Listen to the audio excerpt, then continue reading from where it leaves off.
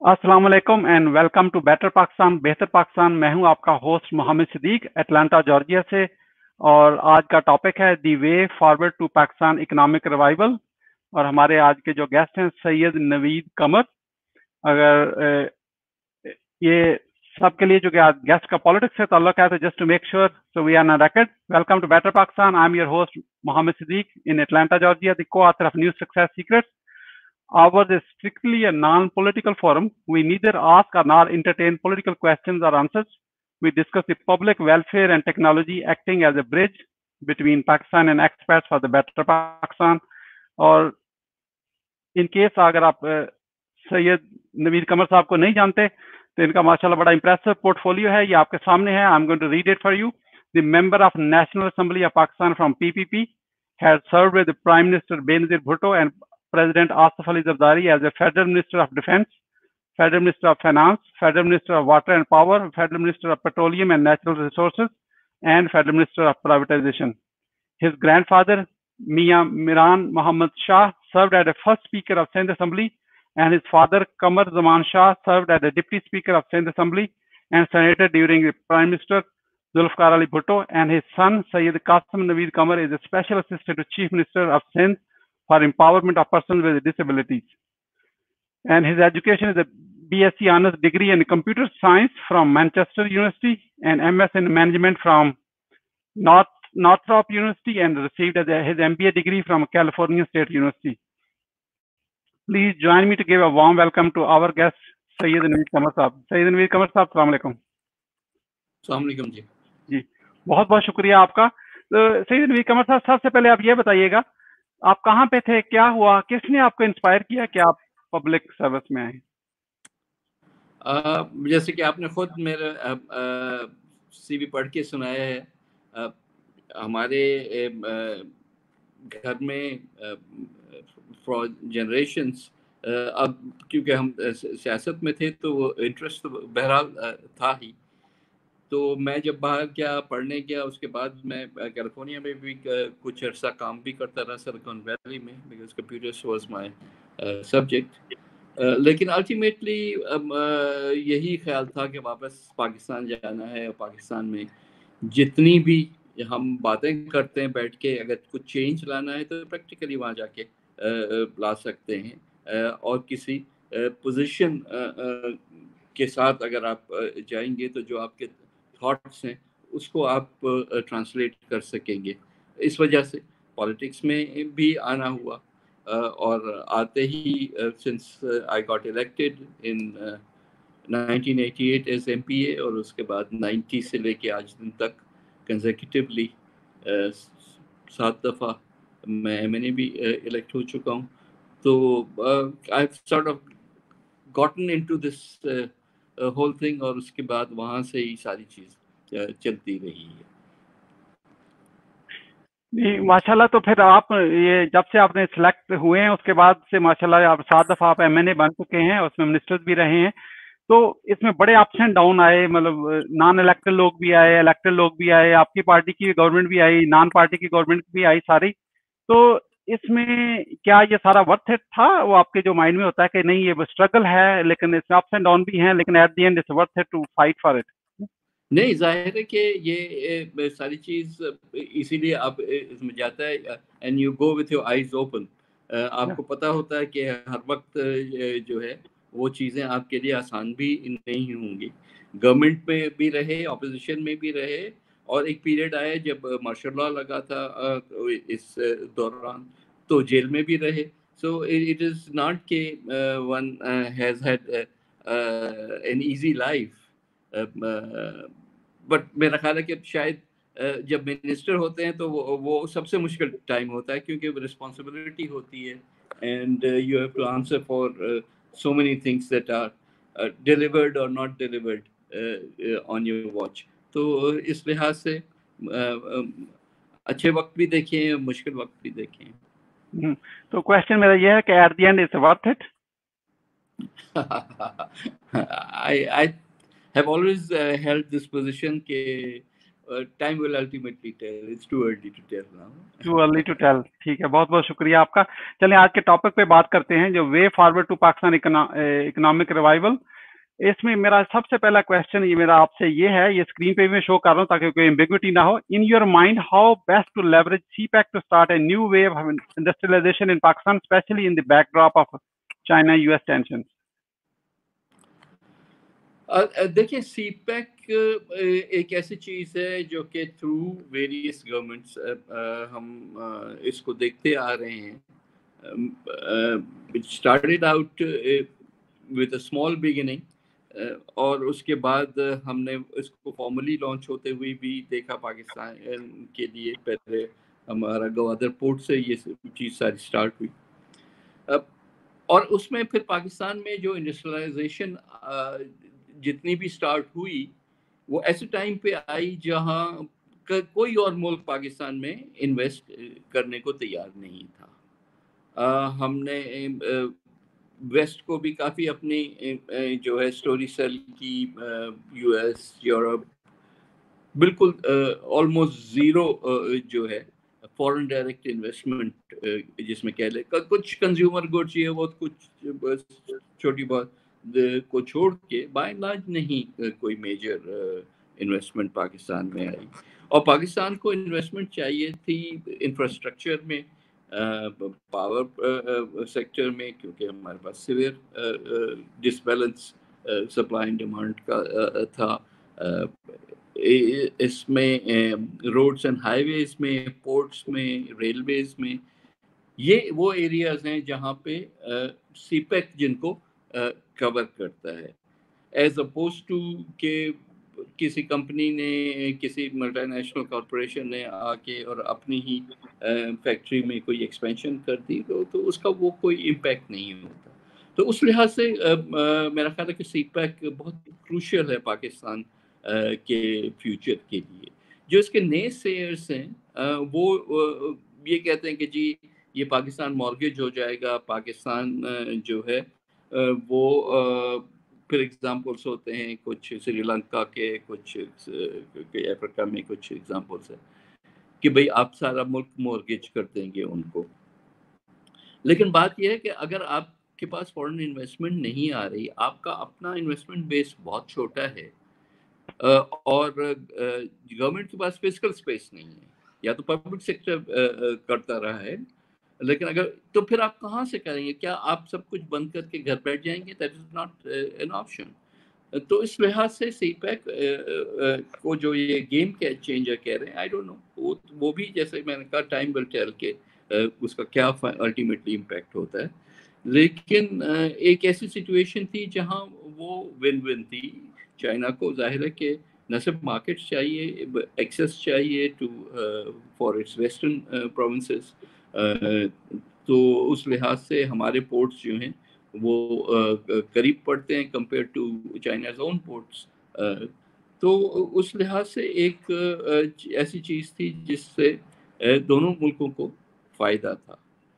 इस लिहाज से I think it it is a very important project for Pakistan important project है। सवाल ये है कि इसको बेस्ट लेवरेज कैसे करें जो करंट यूएस चाइना की टेंशन है इसमें पाकिस्तान के लिए इसको इंडस्ट्रियलाइजेशन के लिए इसका बेस्ट लेवरेज कैसे करें अभी राइट नाउ वो साइन हो गया साइन हो गया लेवरेज करना है ना अब बात सारी ये है कि जितना आ, आ, कहीं अपॉर्चुनिटीज़ जो हैं वो श्रिंक होती हैं उतनी ही कहीं और पे वो ओपन हो जाती हैं। तो यूएस क्योंकि अभी इलेक्शन ईयर है one can't say for sure कि यूएस की अल्टीमेटली पॉलिसी क्या रहनी है?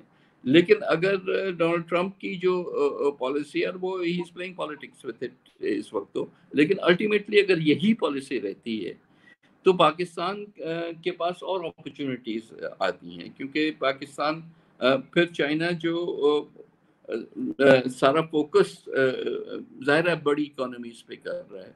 तो उस लिहाज से Pakistan would provide an opportunity in its own backyard कि न सिर्फ़ ये कि मैन्युफैक्चरिंग भी यहाँ आहिस्ता आहिस्ता मूव करे, और यहाँ जो इकोनॉमिक ग्रोथ हो तो उसकी वजह से पाकिस्तान की कंजम्पशन भी ऑफ़ दो सेम गुड्स वो बढ़ेगी। तो मेरा ख्याल है कि अपॉर्चुनिटीज़ तो डेफिनेटली हैं। उसमें सिर्फ़ हमें इस बात का ज़रूर ख्याल करना होगा कि हमारे अपने इंटरेस्ट जो हैं, वो कॉम्प्रोमाइज़ ना हो। हमारे लोगों के इंटरेस्ट इन टर्म्स ऑफ़ हम तो फिर जब कोई चीज़ देते हैं तो बिल्कुल हर चीज़ हर दरवाज़ा खोल देते हैं। इन्वायरमेंटली हमने अपने आप को प्रोटेक्ट रखना है। लेबर राइट्स पे हमने आपको, अपने आप को प्रोटेक्ट करना है। और अल्टीमेटली दो मेरे हिसाब से अगर आप आज फ़िज़िकल कंसेशंस देते हैं तो कल आप you will reap the benefits तो वो तो एक हद तक आप ज़रूर दे सकते हैं, लेकिन वो जो सेफ़ गार्ड्स हैं उसका फिर कल को कोई नेमल बदल नहीं होगा। And if you lose that opportunity and you make bad bad contracts तो उसका फिर नुकसान जो है, फिर जनरेशन्स पे आपको मिलता रहेगा। वेरी गुड वेरी गुड आपने कुछ पार्शली जवाब दे दिया but leads to my next question do you agree कि नैरेटिव जो सीपैक का है इसे more than like one sided affair है या ये कि मोर बैलेंस्ड है? Need to be act more balancing act narrative of the CPAC uh, is, CPAC was a more like a one-sided affair. Is it now is more balanced or need a more balancing action? Obviously, obviously ये uh, narrative तो US driven है primarily uh, और within Pakistan ये narrative cell नहीं करता uh, क्योंकि uh, लोगों ने देखा है कि उसका जैसे मैंने कहा कि अगर कोई और अपॉर्चुनिटी नहीं है कोई तो this is our only real opportunity और कहीं और बातें हुई हैं तो वो दैट दो स्टिल सिर्फ़ कागज़ी बातें कहना चाहिए। तो ये ये पाकिस्तान में कोई भी शख्स ये नहीं कहेगा कि सी पैक जो है वो वन साइडेड है जैसे मैंने कहा वन साइडेड तो तब हो जाता है जब हम अपना सेफ़ गार्ड उसमें खुद नहीं रखते। ज़ाहिर है कि अगर निगोसिएशंस हैं और दो पार्टीज़ हैं तो दोनों पार्टीज़ को अपना अपना इंटरेस्ट मैक्सिमाइज करने की कोशिश करनी चाहिए। अगर हम लैक्स होंगे उस स्टेज पे तो उसमें चाइना का तो कसूर नहीं है ना, वो तो फिर हमारा अपना कसूर है। और उस लिहाज से जब पाकिस्तान में जब इंफ्रास्ट्रक्चर डेवलपमेंट होती है तो इनिशियली कम से कम ये ये खौफ था कि लेबर जो है पर्टिकुलरली प्रेजेंट लेबर वहाँ से लाया जाएगा। जो कि कुछ केसेस में हुआ भी। और फिर इसका मतलब है कि उसकी एम्प्लॉयमेंट जनरेशन कैपेसिटी जो है उन चीज़ों की, वो पाकिस्तानियों को उसका बेनिफिट नहीं मिलेगा। दैट इज़ समथिंग जो कि हमें नहीं अलाउ इस तरह से करना चाहिए। हमें ये करना चाहिए कि लोकल लेबर जो है उसको पूरी पूरी अपॉर्चुनिटी मिले। हाँ आप बाहर से वो लोग लाते हैं जो स्किल्स यहाँ अवेलेबल ना हो। लेकिन विद टाइम वो स्किल्स भी डेवलप करनी होंगी। तो वो, जैसे मैंने कहा, वो तो फिर कॉन्ट्रेक्चुअल इश्यूज़ है ना, आप ये सारी चीज़ें अगर कॉन्ट्रैक्ट्स में नहीं डालेंगे तो अल्टीमेटली तो लूजर होंगे ना बिल्कुल। तो अभी बैलेंस है बैलेंस अभी जो आउटकम है, अभी बैलेंस्ड हो गया या need more balancing act right now I think इसमें हमें आँखें हर वक्त खुले ही रखनी चाहिए। ये ख्याल अगर ये था कि फॉर एग्जांपल क्योंकि चाइना ने अपने मुल्क में अब काफ़ी एनवायरनमेंट पे स्ट्रिक्ट पोजीशंस ली हैं। बेजिंग जो कि आप, आपको पता है कि बिल्कुल one of the most polluted cities था दुनिया का। आज बिल्कुल क्लीन एयर है वहाँ पे। क्योंकि उन्होंने अपने पावर प्लांट्स पे जो स्टैंडर्ड्स रखे, वो यूरोप से भी एक हद तक आगे रखे। और फिर ये था कि वो प्लांट जो वहाँ से डिस्प्लेस किए जाएँगे, वो अगर पाकिस्तान में आके लगा दिए गए तो यहाँ के एनवायरमेंटल इम्पैक्ट जो है वो नेगेटिव आएगा। अभी तक पोजीशन तो ये रही ऑफिशियली कि नहीं इस तरह से नहीं हुआ। लेकिन फिर ये भी पोजीशन नहीं है कि जो स्टैंडर्ड्स हैं एनवायरमेंटल जो कि चाइना ने अपने लिए अपने मुल्क में अडॉप्ट किए हुए हैं वो अभी तक हमने अपने मुल्क में नहीं अडॉप्ट किए। क्योंकि ज़ाहिर है कि उसके साथ कॉस्ट बढ़ती है उसके अपने इम्पैक्ट होता है ऑन द टैरिफ्स एंड माशाल्लाह thank you thank you so much जी इसके साथ ही हम we move on to this कि Chinese and Pakistani industrialist are not engaging so far with so many incentives from both governments what's needed to speed this up देखिए, इसमें काफ़ी सारे factors आते हैं और मेरा ख्याल है कि अनसर्टनिटी का फैक्टर शायद सबसे पहला फैक्टर होता है। At various times change of government होती है तो ये अनसर्टनिटी रहती है कि नई गवर्नमेंट की क्या पॉलिसी रहेगी? क्योंकि चाइना में तो गवर्नमेंट चेंज होती नहीं है। हाँ सो फॉर डेकेड्स वो एक ही पॉलिसी चलती है। लेकिन obviously being a democratic country हमारे तो फिर चेंजेस ऑफ़ गवर्नमेंट्स भी आती हैं। तो उस उस लिहाज से any statements coming from the government उसको बड़ी बारीक बीनी से specially on the Chinese side देखा जाता है। और उस लिहाज से मेरा ख्याल है कि एक एक टाइम आया जब हम थोड़ा सा देखा कि स्लो डाउन हुई ये इन्वेस्टमेंट और स्लो डाउन के बाद मोमेंटम पिक करना जो है, उसमें वक्त लगता है। और रिसेंटली तो ज़ाहिर है पहले चाइना और फिर पाकिस्तान और फिर दुनिया सारे के सारे एक रिसेशनरी पीरियड से जा रहे हैं। और वो रिसेक्शन कब तक चलेगा, कितना चलेगा, कितना वाइड होगा, वो अभी तक हम कोई भी ऐसे सही तरह से नहीं कर सका है तो एक हद तक तो आप ज़रूर स्लो डाउन देखेंगे, लेकिन वो स्लो डाउन सीपेक स्पेसिफिक नहीं है, वो स्लो डाउन सारे दुनिया में है और उसका इम्पैक्ट हर इकोनॉमी पे हो रहा है हम्म। तो लेकिन अभी वो जनरल स्लो डाउन है लेकिन इसमें तो बड़ा स्पेसिफिक है ये नेशनल लेवल का प्रोजेक्ट है पाकिस्तान में जो मुझे पता है कि सारी पॉलिटिकल पार्टियों ने इसको सपोर्ट किया है सजेशन हर एक की होती है इसको इस तरह इंप्रूव करने जैसे पाकिस्तान इंटरेस्ट की बात है किसी ने इसको मुखालफत तो नहीं की ना पाकिस्तान में तो इसको as as a national interest का प्रोजेक्ट लेके बेशक गवर्नमेंट चेंज भी होती है। जिसकी भी गवर्नमेंट आती है लेकिन वो प्रोजेक्ट की वो ये तो नहीं कहता कि मैंने सपोर्ट नहीं करना वो तो बनाने में भी सपोर्ट कर रहे थे सक्सेशन में भी सपोर्ट है अप्रोच हर की थोड़ी बहुत फ़र्क होती है that's why every political party तो इसमें ए, क्या अभी नाउ मूविंग फॉरवर्ड अभी कोविड के बाद तो हमें इसके अलावा तो हम रिवाइव कैसे करेंगे अपनी इकोनॉमी ये नहीं नहीं डेफिनेटली कोविड के बाद हमने काफ़ी गियर अप करना होगा इन सारी चीज़ों को फ़िलहाल पाकिस्तान ने एक मेजर डैम जो है डैमी भाषा डैम हम्म। उसके लिए एक कॉन्ट्रेक्चुअल हम पेशरफ्त हुई है। That will probably be the largest project under CPEC तो उस लिहाज से आहिस्ता आहिस्ता ज़रूर चीज़ें पिकअप करेंगी। बट काफ़ी तेज़ी से चीज़ें एक्सलरेट करें। वो तो फिर जब दुनिया की और पाकिस्तान की और चाइना की सब इकोनॉमीज जब उस ट्रेजेक्ट्री पे जाएँगी तो फिर ही हो, हो सकेगा। माशाल्लाह वेरी गुड जी ये थोड़ा सा लाइट सा क्वेश्चन है लेकिन बड़ा रियल है कि बहुत सारे लोगों के how to convince people with terms of money abroad to bring it back and invest in Pakistan not in plots and real estate और बल्कि इंडस्ट्री में करें ताकि उससे एम्प्लॉयमेंट जनरेशन हो जो लोकल कंजम्पशन है हमारे इम्पोर्ट्स कम हो एक्सपोर्ट ज़्यादा हो लोकल जीडीपी में फ़ायदा हो रियल इकोनॉमी में वो पैसे लगे। देखिए, ये ये तो बहुत अच्छा और इम्पोर्टेंट सवाल है। पैसा कोई ऐसे विम्सिकल तरीके से नहीं लगाता। हर एक का पैसा जो है वो उसको प्यारा होता है। तो जब पाकिस्तान में अपॉर्चुनिटीज़ देखेगा और स्टेबिलिटी देखेगा, ये दो चीज़ें बहुत इम्पोर्टेंट हैं। पाकिस्तान में अपॉर्चुनिटीज़ तो बहुत नहीं है, लेकिन हमारे यहाँ परसेप्शन ऑफ़ स्टेबिलिटी जो है वो कम रहा है। चाहे वो टेररिज्म के नाम से चीज़ें हो रही हों चाहे हमारी नेबरहुड के इश्यूज़ आ रहे हों।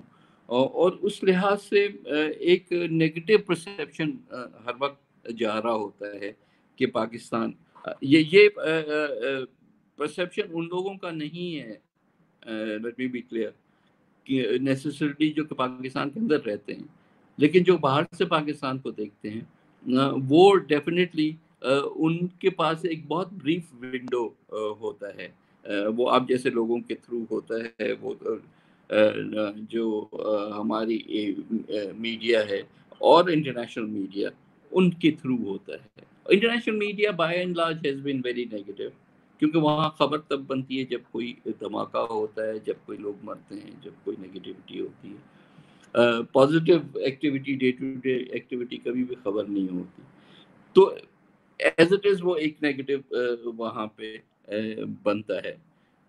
फिर हमारे अपनी परसेप्शंस जो हैं, वो संभव हम कुछ ज़्यादा ही उस पर जो है perception of corruption for example या इस किस्म की चीज़ें ना, जो कि लोगों को डिस्करेज करती हैं from actually taking that step फिर ऑब्वियसली इकोनॉमी ने कभी भी उस तरह से पिकअप नहीं किया in the more recent periods जिसमें लोगों को ये लगे कि हाँ अब now is the time to jump into Pakistan लेकिन ये टाइम आएगा it's only matter of time जब, अगर फॉर एग्जांपल जैसे हम सी की बात कर रहे हैं, कि अगर चाइनीज़ आके पाकिस्तान में इन्वेस्ट करते हैं तो फिर ओवरसीज़ पाकिस्तानी क्यों ना करें?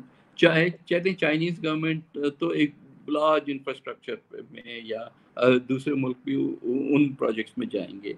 लेकिन ऑन अ स्मॉलर स्केल हमारे अपने लोग जो हैं वो भी इन्वेस्ट कर सकते हैं। हम्म। तो ये आप पीपल्स पार्टी से आपका तल्लक है हर पार्टी के बाहर पूरे चैप्टर हैं ऑल ओवर द वर्ल्ड में हम एक्सपैट पाकिस्तानियों की बात कर रहे हैं। तो आपका क्या नैरेटिव है एक्सपैट पाकिस्तानी जो आप लोगों को फॉलो करते हैं कि आए पाकिस्तान में इन्वेस्ट करें या जब तक हमारी गवर्नमेंट आएगी उस वक्त करना अभी ना करना मतलब मैं इन जनरल बात कर रहा हूँ ये ऐसी कोई चीज़ होती है? नहीं देखे ना को, कोई इन्वेस्टमेंट जो है वो एक गवर्नमेंट के पीछे नहीं आती। आज एक गवर्नमेंट है कल दूसरी होगी परसों तीसरी होगी। एंड प्रीवियसली भी हमने देखा कि हमारी गवर्नमेंट थी उससे पहले जनरल मुशरफ की गवर्नमेंट थी फिर हम्म। नवाज़ शरीफ साहब की आई फिर अब इमरान खान की तो अब ये तो है ना और पैसा जो है इन्वेस्टमेंट ये तो नहीं होता है कि भाई वो सिर्फ़ पाँच साल के पीरियड के लिए हो, होता है और उसके बाद पैसा निकल के आप निकाल देते हैं people have to bet on Pakistan. People can't bet on a government or a party.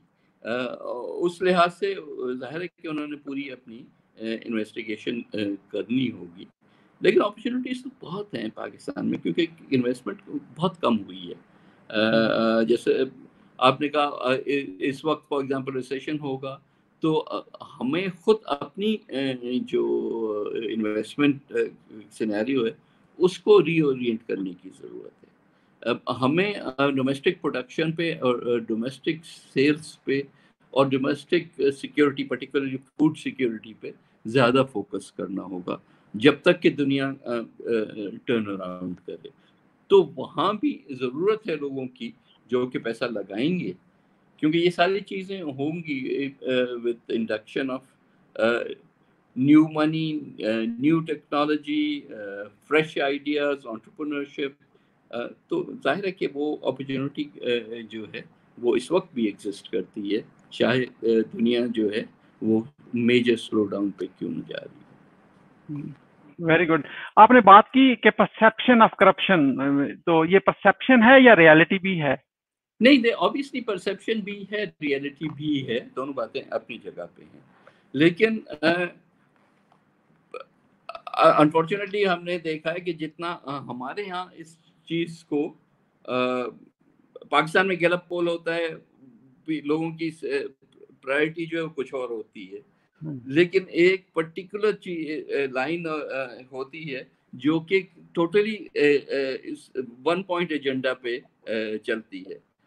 That not only hurts a whoever is being targeted uh, in that uh, perception building लेकिन वो it hurts the country also क्योंकि अगर आप इसी चीज़ से डरते हुए पाकिस्तान में नहीं आएँगे करप्शन कहाँ नहीं होते? क्या चाइना में नहीं है? क्या यूएस में नहीं है?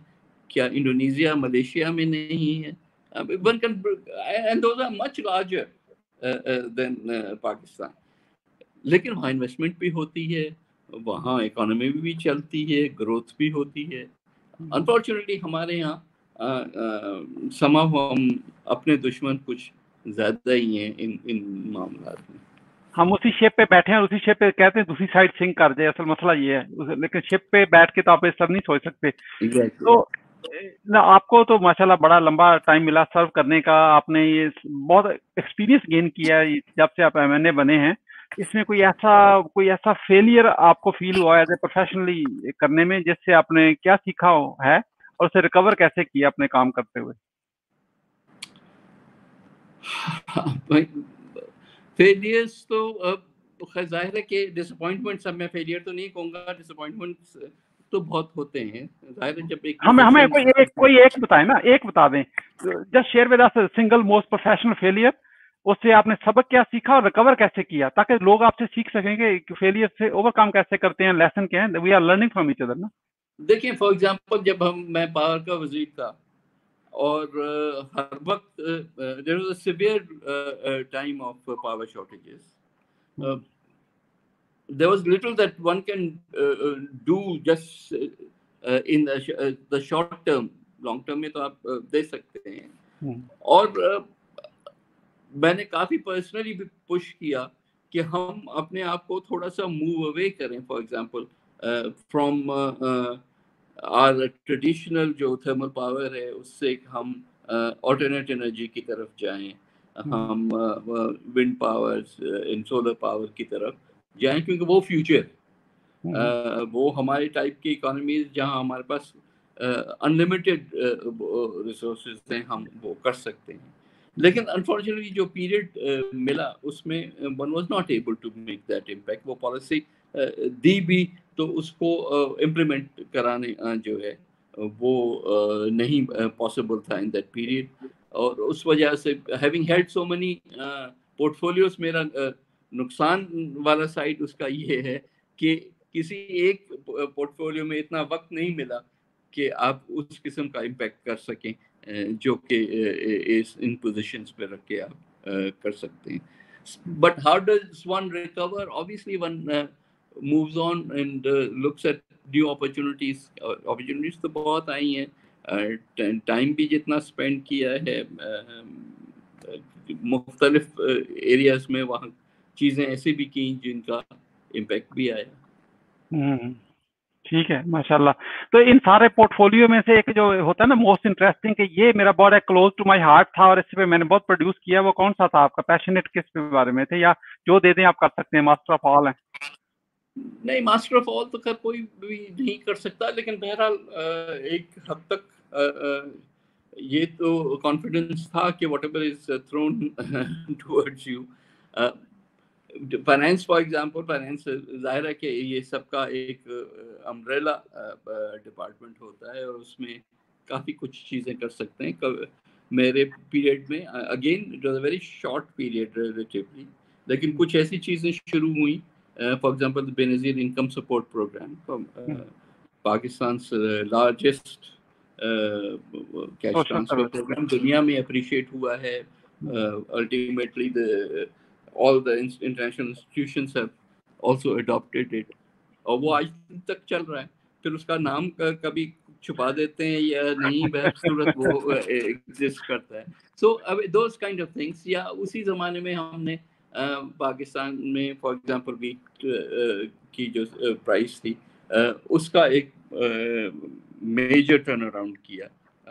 जो नई प्राइस थी we went from being wheat importing country to a wheat exporting country. Uh, oh, that happened within a period of one year only. And to this uh, day, uh, वो फिर हमने change कर दी sixties seventies eighties से हम करते आ रहे थे कि इम्पोर्ट अमेरिका से और ऑस्ट्रेलिया से और यूक्रेन से करना wheat and then subsidising it now uh, we produce our own wheat. It was only one policy decision that uh, was needed and was done. माशाल्लाह वेरी गुड हमारे साथ मोहम्मद मलिक साहब ने एटलांटा से ज्वाइन किया। अभी मैं उनको स्क्रीन पे लाता हूँ। ही हैव सम क्वेश्चन लेकिन क्वेश्चन इसी टॉपिक पे ही होंगे तो मतलब लेट्स गेट रेडी जी मलिक साहब अस्सलाम वालेकुम। जी thank you very much for getting me in Naveed साहब आपका बहुत बहुत शुक्रिया you are on the show मैं इंजीनियर हूँ वर्क इन यूएस तो मेरा एक सवाल है इसी सिलसिले में इस नॉन पोलिटिकल आप रहे हैं वापडा के वापडा और किचे अपना minister water and power relate to that. ये दो आइडियाज़ हैं पाकिस्तान में जो डैम अभी शुरू है आपका दालमेर पाशा डैम डीबीडी उसके दो डिफरेंट डिज़ाइन हैं। एक है आरसीसी से रोलर कॉम्पैक्टेड डैम और दूसरा है री face concrete face rock fill dam so there दो टाइप्स हैं। तो अभी ये बहस चल रही है कि जो आपका R R C F D dam है उसकी कास्ट बनती है तकरीबन आठ बिलियन डॉलर। जो अब बना रहे हैं हम, उसकी कास्ट बनती है चौदह बिलियन डॉलर। तो पहले की कैपेसिटी थी वो तकरीबन एटी परसेंट थी। अब ये चौदह बिलियन डॉलर खर्च करने से आपकी कैपेसिटी हंड्रेड परसेंट होगी। तो आपके जमाने में ये कभी कोई कहीं डिस्कशन हुई है या आपके नॉलेज में कोई इसका कंपैरिजन हुआ है या नहीं? नहीं एज फार एज क्योंकि हमारे ज़माने में तो we went through the initial approval stages जहाँ पर प्रोविंसेस uh, को इकट्ठे करना और उन सबसे अप्रूवल्स लेना and so on so which usually the political phase is the most difficult phase in in चीज़ों में। तो अब टेक्निकल तो अब शुरू हुआ है लेकिन आई थिंक हमारे यहाँ ये अजम्पन होता है हमेशा कि जो डैम बनेगा वो आरसीसी ही बनेगा। Now the uh, other type of dams that you are talking about to be honest with you i am not very familiar with it कि हमारे एनवायरनमेंट uh, में क्योंकि एक बहुत ही टिपिकल uh, किस्म की वो एरिया है जहाँ पे ये सब कुछ हो, हो रहा है। So whether that is possible or not possible, or why uh, engineers have chosen the more traditional form of RCC, uh, ye, ye, uh, frankly, I can also find out. Uh, it's an addition to my knowledge, uh, and then see uh, why we are doing this rather than the other one. No, उस उसमें debate ये है कि ये seismic zone है जहाँ पे ये डैम बन रहा है और रिजिड डैम बनाएँगे तो उसके चांसेस हो सकते हैं कि इट कैन काज डैमेज अगर आप थोड़ा फ्लेक्सिबल डैम जो दूसरे वाला जो है, एक तो वो सस्ता है कैपेसिटी में भी not as much as current one तो why not go for a more एक तो major cost reduction secondly you know safety factor आप ये सब चीज़ें उन्होंने डिज़ाइन में कवर की होंगी लेकिन this is just a new ये भी हो सकता है कि may be some vested interest are spreading this news at this time कि ये डैम भी बने। वी डोंट नो लेकिन there should be some analysis इधर द थर्ड पार्टी के जो जो हम करने क्योंकि ये इसे 50 billion 14 billion dollar project it can take the country 20 years head I can put the country 20 years behind similarly आपका जो है एम एल टू प्रोजेक्ट है वो भी दस बिलियन का है। उस पर भी ये डिस्कशन होनी चाहिए भी अगर हमने सौ या हज़ार कैरेजेस बनानी है तो why cannot we make eighty percent carriages in Pakistan and just import twenty carriages from China similarly अगर हमने मेट्रो बनाई है ऑरेंज मेट्रो उसकी अपनी बीस, तीस, बीस अपना उसकी करेजेज हैं। Why can not we use Pakistani infrastructure जो मौजूद है, इतनी बड़ी बड़ी रेल अपना आपकी वहाँ पे इंडस्ट्री है, कि कुछ आप वहाँ से लें, कुछ यहाँ पे बनाएँ। ये चीज़ें हम क्यों नहीं सोच रहे? नहीं, ये डेफिनेटली जो आपका रेलवे के बारे में कमेंट्स हैं आई टोटली इंडोर्स दैट क्योंकि हमारे पास कुछ कैपेसिटी है और कुछ कैपेसिटी बिल्डिंग की ज़रूरत है। But in both the cases हमारे पास वेयर विथ ऑल तो है। रेलवे uh, आज से नहीं आज से इवन बिफोर पाकिस्तान ये uh, uh, उनके वर्कशॉप्स रहे हैं और हम ये कैरेजेस बनाते हैं। अब वो स्पेसिफिकेशंस को सिर्फ़ मॉडिफाई करने की ज़रूरत होती है। ज़रूरत तो नहीं है कि एक ही मोल्ड में आप सब चीज़ बनाते रहें। जब हमारे पास सब है इंफ्रास्ट्रक्चर तो अल्टीमेटली ये सब चीज़ें पाकिस्तान में बननी चाहिए। कहीं अगर ट्रांसफ़र टेक्नोलॉजी की ज़रूरत है तो वो होना चाहिए। But it can not be totally import dependent वो तो I hundred percent agree with you Malik साहब, आपका बहुत बहुत शुक्रिया। थैंक यू सो मच जी, सही नवीद कमर साहब, ये जो ईज ऑफ़ डूइंग बिज़नेस है, आप तो पार्लियामेंट में भी हैं, बात भी करते हैं। अभी रिसेंटली भी मैंने आपका वाच किया। तो इस पे कोई ये रेड टेप है, पूरी दुनिया में है, ये नहीं मैं कह रहा पाकिस्तान में ज़्यादा है, बाहर हर जगह पे ये ब्यूरोक्रेसी है गवर्नमेंट के ऑफिशियल हैं, एक डिपार्टमेंट से दूसरा आपस में सिंक है कोलेबोरेशन नहीं है, बड़े मसले मसाइल होते हैं। Ease of doing business prime minister कोई भी हो, सारे कहते हैं कि हम इस तरह कर रहे हैं, वो पार्टी कोई भी हो, लेकिन रियलिटी क्या है कि वो बात कहने से नहीं होती, उसको पॉलिसी में ट्रांसफ़र करके एक्चुअली इंप्लीमेंट करना होता है तो इस इम्प्लीमेंटेशन में व्हाट इज़ स्टॉपिंग अस वो जो हम इंटरनेशनल इन्वेस्टर को लाना चाहते हैं उसमें एक्सपर्ट पाकिस्तानी भी हैं नॉन पाकिस्तानी भी आएँगे। अगर उसको वाकई टेक्निक रियलिटी में ईज ऑफ़ डूइंग बिज़नेस मिलेगा तो वो आएँगे ना लोग। पाकिस्तानी क्यों नहीं आएगा? तो इसमें क्या what is stopping us to do it नहीं obviously there is nothing stopping but चीज़ें जो एक्सट्रेनियस फैक्टर्स हैं वो ज़रूर इसमें रोल एक प्ले करते हैं। एक तो खैर ट्रेडिशनली रहा है।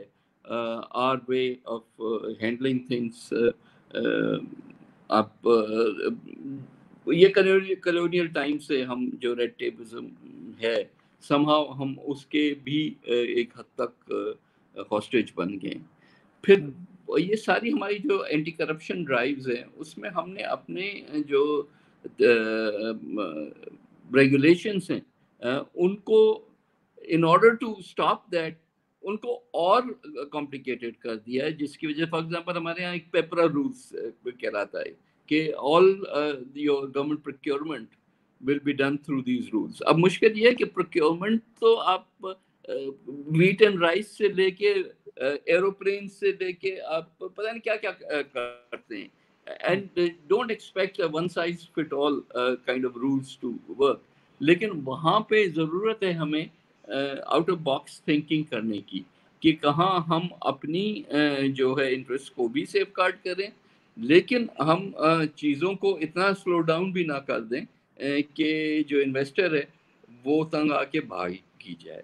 दूसरा which is a more recent thing again for example आपने सुना होगा कि पाकिस्तान में एक नैब की वजह से एक स्लो डाउन इन एक ब्यूरोक्रेसी जो आ गया है।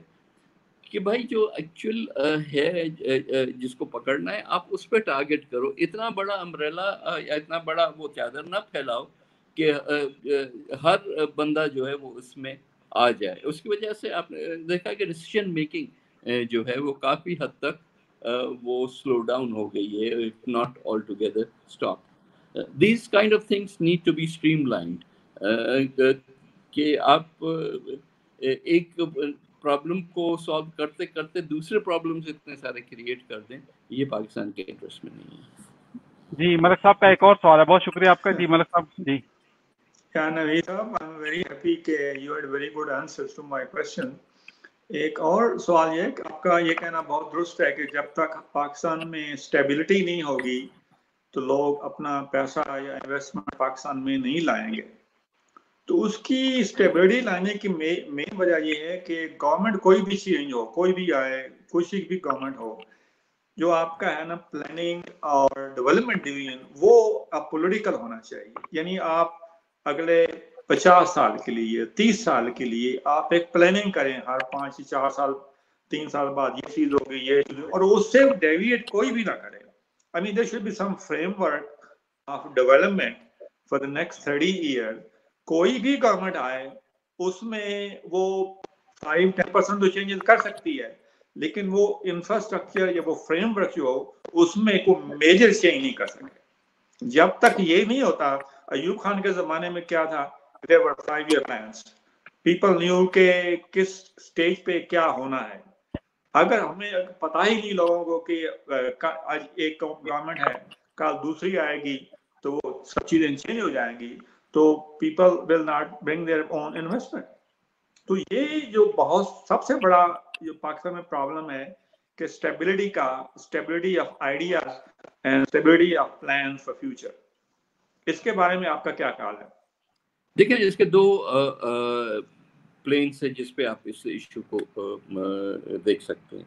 एक तो खैर ओवरऑल एक पॉलिटिकल स्टेबिलिटी जो होनी चाहिए वो हम हमारी डेमोक्रेसी उस तरह से डेवलप नहीं हुई कि हम कहें कि गवर्नमेंट की जो स्टेबिलिटी वो उस उस तरह से रहेगी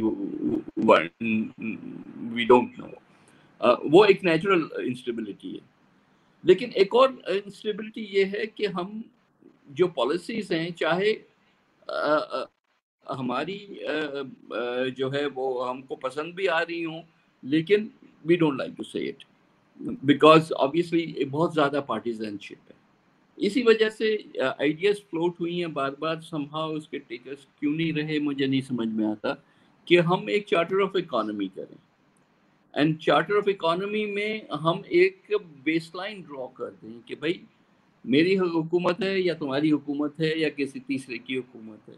We all agree on this base line कि पाकिस्तान की इकोनॉमी को इस तरह से। ज़ाहिर है कि हर गवर्नमेंट की अपनी पॉलिसी होती है, उसको आगे पीछे तो ज़रूर करते हैं।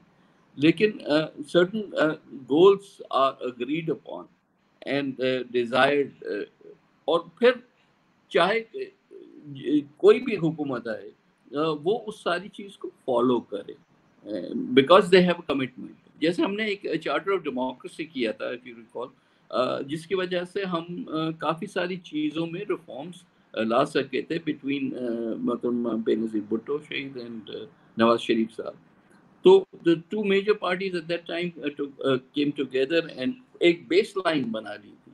उसी तरह की बेस लाइन हमें इकोनॉमिक साइड पे भी करने की ज़रूरत है। और उसके लिए ऑफर्स भी हुए हैं बट अभी तक उस पर इम्प्लीमेंटेशन नहीं जी मलक साहब बहुत बहुत शुक्रिया आपका। Very good thank you very much very very right answer charter of economy charter of economy या माशाल्लाह देखें जी एक्सीलेंट एक्सीलेंट जी देखे नवीन साहब आप आए आपने माशाल्लाह बहुत अच्छा किया देखिए आपको कैसा फील हुआ है कि ये सिविलाइज तरीके से भी कन्वर्सेशन हो सकती है doesn't have to be on along party lines. It has to be on Pakistan lines कि पाकिस्तान सेंट्रल बात हो जी नहीं नहीं होनी भी ऐसी ही चाहिए अनफॉर्चुनेटली हमारे यहाँ एक कल्चर बन गया है ऑफ़ पार्टीजनशिप हमें काफ़ी सारी चीज़ों में हालाँकि इस तरह से है भी नहीं कि there are times people uh, across party lines, uh, for example, parliament में, uh, they come together on issues. लेकिन उसकी उस तरह से जो है पब्लिसिटी नहीं होती। और उसका रीज़न ये है लोग कहते हैं I don't know may be बिकता जो बिकती जो चीज़ है उसको ज़्यादा पब्लिसिटी मिलेगी। आप सारे दिन में अगर पार्लियामेंट में तकरीरें होती हैं और आप पॉजिटिव तकरीरें करते जाएँ और सडनली एक तकरीर अगर नेगेटिव आएगी तो that will be highlighted in the media so उस उन चीज़ों को हमें थोड़ा सा देखने की ज़रूरत है कि नेशनल इंटरेस्ट में क्या चीज़ें हैं। चलें। इसी से that leads to my next question ये आपकी स्क्रीन पे नज़र आ रहा है। What would you say to your best friends about a better Pakistan show when I am not there आज आप बेटर पाकिस्तान शो पे आए इसमें हाँ. जो दूसरे गेस्ट आते हैं उनको आप इस शो के बारे में क्या बताएँगे कि?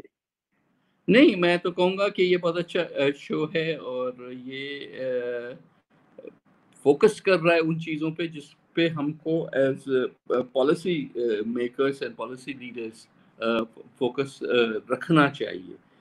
कि पाकिस्तान आज से पाँच साल बाद, दस साल बाद, बीस साल बाद पाकिस्तान किस तरह से नज़र आना चाहिए?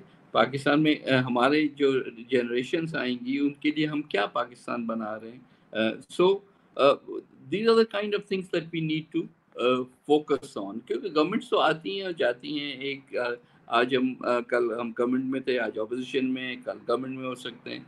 सो so, ये तो नहीं पता होता ना वो पार्टीजन चीज़ें तो उधर ही रह जाती हैं। उसका मतलब कोई हिस्ट्री में कोई वो लॉन्जिविटी तो नहीं होती। लॉन्जिविटी तो उन चीज़ों की होती है जो कि आप चाहे वो फ़िज़िकल इंफ्रास्ट्रक्चर के हिसाब से हो चाहे वो फॉर एग्जांपल कॉन्स्टिट्यूशनल या लीगल इश्यूज़ हों या आपकी बाकी जो सोसाइटी पे आप इम्पेक्ट करते हैं। वो चीज़ें ही याद रहेंगी। बहुत बहुत शुक्रिया आपका। तो ये नवी साहब, एक पर्सनल क्वेश्चन है। ये नहीं है कि आपने टैक्स कितना दिया just to be make sure वो ये सिर्फ़ बात है कि आपके ग्रैंडफादर आपके फादर भी पॉलिटिक्स में हैं, आप भी हैं, अच्छी बात है ये सर्व करने के लिए आप आए हैं। और आपका बेटा भी स्पेशल असिस्टेंट है, वो एमपी आपने खुद ही बताया। तो ये एज ए इसमें बड़े बड़े चैलेंज हैं अप्स एंड डाउन है, सारा, ये सारे के सारे आप, इसका मतलब दिस इज़ लाइक कोई रोजी रोड है, जिसमें कि ये इसमें सारे आते हैं, या के कई दफ़ा तो होता है कि जब अगर फादर बहुत चैलेंज से गुजर रहा है इसमें तो बच्चे कहते नहीं नहीं, ये हमने सीख लिया कि ये काम नहीं करना। लेकिन आपके तो माशाल्लाह पूरे वो एक हैरारकी है ये, इसके बारे में आप क्या कहेंगे? ज़ाहिर है कि ये चॉइस जो है वो फॉर प्रैक्टिकल पर्पसेस खुद ही करनी पड़ती है। uh, कोई भी आपको फोर्स नहीं कर सकता। ना मुझे फोर्स किया गया था ना ही मैं अपने जो बच्चे हैं उनको कह सकता हूँ कि जी आप ये करो या ये करो या ये करो। अब मेरे फैमिली में फॉर एग्जांपल मेरे सिबलिंग्स में I was only one in politics बाकी लोग अपने अपने प्रोफेशंस में गए। हम्म। इसी तरह से मेरे बच्चों का भी ये कि one of them is in politics तो ये ये ये चीज़ें तो अपनी इंटरेस्ट के साथ ही आती हैं। ना whether they feel that this is one is successful और इस वजह से आगे जाके सक्सेस आएगी और इसलिए इट लुक्स चार्मिंग उन्होंने सब चीज़ें देखी हैं। इट इज़ नॉट के हर हर टाइम जो है वो ग्लैमर एंड ग्लोरी वाला होता है। ज़ाहिर है कि जब आप एक मार्शल लॉ लगता है और आप जेल जाते हैं और उसकी अपनी हो and that happen with my father that happen with me तो बच्चे वो जो डार्क साइड है वो भी देखते हैं बट हम्म। देन उन सारी चीज़ों को इकट्ठे करके फिर एक फैसले पे आते हैं तो I think it is good क्योंकि मैं हमेशा लोगों को खासकर पढ़े लिखे लोगों को इनक्रेज करता हूँ कि आप सियासत में आए। सियासत को जिस तरह से टर्निश इमेज होता है एक्चुअली इस तरह से है नहीं। Not everybody is a scoundrel in politics but then you have the good then you have the bad so अगर अच्छा बंदा खुद नहीं आएगा आगे तो ज़ाहिर है जो गलत बंदा होगा, वही आगे आएगा। We are about to wrap up नहीं बहुत बहुत शुक्रिया आप आखिर में क्या कहना चाहेंगे कोई ऐसी चीज़ जो मैंने नहीं पूछी and you had in mind to share are you welcome to share नहीं थैंक यू अगेन स्पेशली मैं जो अपने ओवरसीज पाकिस्तानी दोस्त हैं उन सबसे यही गुजारिश करूँगा कि is about time we started looking at our country in a positive manner uh, regardless of the uh, the politics of it, regardless of the governments of the day. क्योंकि यही आपका मुल्क है। आप इस वक्त तो हमारे पास बहुत सारी खासकर यूएस वगैरह में तो फ़र्स्ट जनरेशन इमिग्रेंट्स हैं या at the most second generation immigrants होंगे। तो आपको बहुत कुछ पाकिस्तान ने दिया और यहाँ तक पहुँचा है अभी। सो पे बैक टाइम तभी होता है जब आप अपना भी फ़ायदा देखें और पाकिस्तान का भी फ़ायदा देगी बहुत बहुत शुक्रिया बेटर पाकिस्तान की टीम की तरफ़ से आप आए और आपने शेयर किया। आपका बहुत बहुत शुक्रिया। Thank you so much we really appreciate जी, आप बिल्कुल जी आप सईद नवीद कमर साहब से हम बात कर रहे थे कि way forward to Pakistan economic revival इसमें आप अपना भी फ़ायदा सोचें और अपने मुल्क का भी फ़ायदा सोचें, जो आपकी मदर लैंड है we have to get back to our own country आप ये ना देखें पाकिस्तान ने आपके लिए क्या किया है। अब बेशक आप कंप्लेन करें, जो भी करें, लेकिन एक सवाल एक और भी उसके साथ होता है। पाकिस्तान ने आपको बहुत कुछ दिया है। आप जहाँ पे भी हैं, पाकिस्तान की वजह से हैं। पाकिस्तानी आपकी पहचान है। और इसके साथ आपने भी ये सोचना है कि what I have done for my own country lately that is the question आपको हमेशा ही सोचना है। उसमें आप इन्वेस्ट करना चाहते हैं टेक्नोलॉजी ट्रांसफ़र करना चाहते हैं एक्सपर्ट से बैठे हुए यहाँ पे कोलेबोरेशन करना चाहते हैं, हर लेवल पे आपको पाकिस्तान की बेहतरी का सोचना है। अगर आप नहीं सोचेंगे तो कौन सोचेगा?